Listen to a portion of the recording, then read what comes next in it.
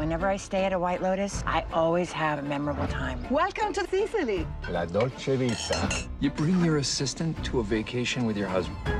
It's not like she's gonna be in our bed and stuff. Flirting is one of the pleasures of life. You're 80 years old. But the women I desire remain young. You can relate to that. Are these the kind of people we're gonna be hanging out with now? It's like you got rich and now he's your best friend. You guys party?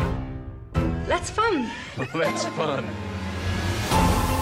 What happened last night? Just been a series of very bad decisions.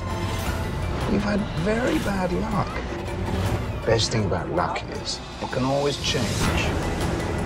Italy's just so romantic. You're gonna die. They're gonna have to drag you out of here.